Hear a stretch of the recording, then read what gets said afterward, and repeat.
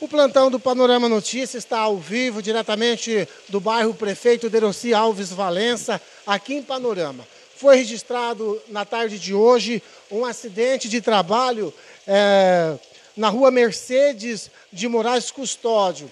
Um pedreiro que estava é, ampliando essa casa que aparece no vídeo aí, ó.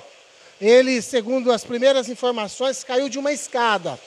Oh, a vítima José Gilberto de Souza, que nasceu no dia 7 de 9 de 74, que tem 45 anos, é, foi resgatado pelo serviço de ambulância de Panorama. Segundo o pronto atendimento de Panorama, o senhor José Gilberto sofreu um ferimento grave na cabeça, é, provável, um provável traumatismo craniano. Nesse momento, ele está inconsciente lá no leito do pronto atendimento e aguarda aí a sua transferência para um hospital especializado aqui na região.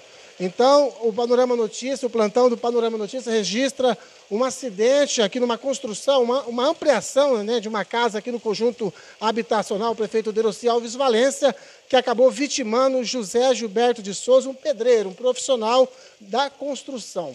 Ele caiu de uma escada e está inconsciente no pronto atendimento de Panorama. O pronto atendimento informou que seu estado é gravíssimo. A vítima que estava aqui trabalhando nessa construção, ela reside aqui no bairro. O plantão do Panorama Notícia ao vivo e exclusivo fica por aqui.